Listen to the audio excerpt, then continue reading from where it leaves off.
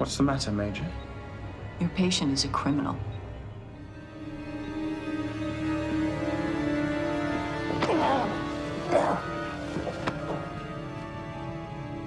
Good afternoon.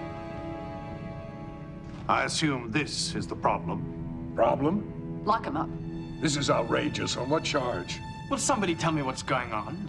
This man needs medical care. Then give it to him in his cell. I haven't done anything.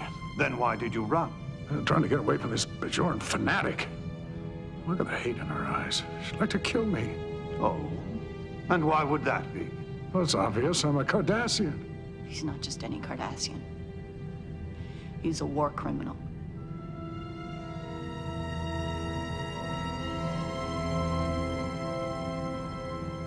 So you're saying this man, uh, what's his name? Marritza. Aamin Marritza.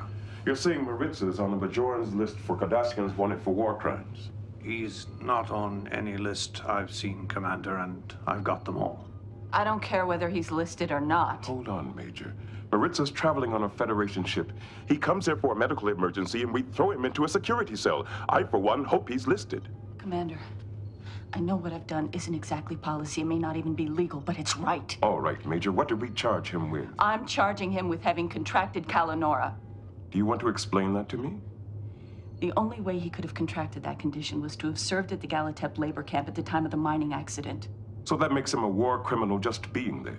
Commander, if you'd been there 12 years ago when we liberated that camp, if you'd seen the things I saw, all those Bajoran bodies, starved, brutalized. You know what Cardassian policy was? Oh, I'm not even talking about the murder. Murder was just the end of the fun for them. First came the humiliation. Mothers raped in front of their children. Husbands beaten until their wives couldn't recognize them. Old people buried alive because they couldn't work anymore.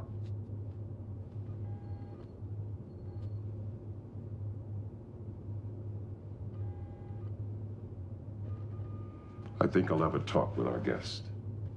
I'll come with you. No, Major. It'd be better if I spoke to him alone.